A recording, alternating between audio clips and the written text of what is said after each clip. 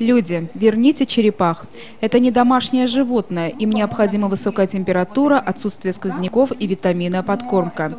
Да, они очень выносливы и могут какое-то время пожить у вас дома, но в конце концов погибнут, отметила в своем обращении к жителям города сотрудница Латгальского зоопарка Ая Пупиня.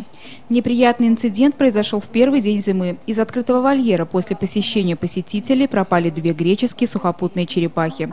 Возраст каждой 50 лет. К сожалению, обнаружили это в понедельник, вторник, когда у нас происходит чистка, и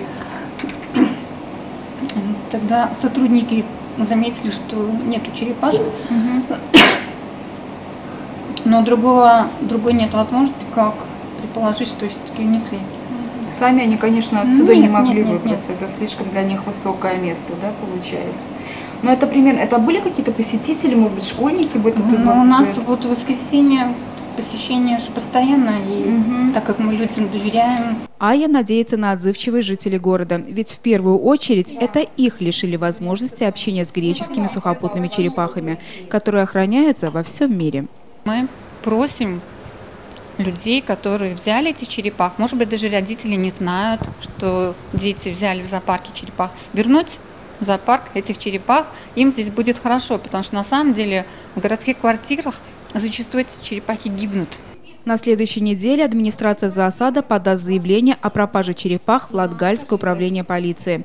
Поскольку похищен очень ценный и редкий вид рептилий, то данное преступление можно квалифицировать как совершение кражи в крупных размерах. Следует отметить, что это уже не первое похищение животных из Латгальского зоосада.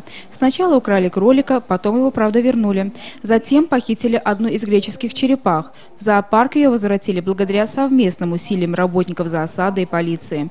Не прошло и года. Новая кража. Не закроют ли вольеры животными от людей? Мы еще оставим вольеры открыты, так как все-таки мы верим в людей, верим в доброту и верим в честность и в доброе отношение человека с животными. Мы обращаемся ко всем жителям города, к детворе и взрослым. Уважаемые, если вы знаете, где сейчас находятся похищенные черепахи, сообщите об этом администрации Латгальского зоосада, позвонив по одному из указанных на экране телефону или отправив письмо на указанный электронный адрес. В преддверии Рождества мы надеемся на чудо. Очень хочется верить, что оно произойдет.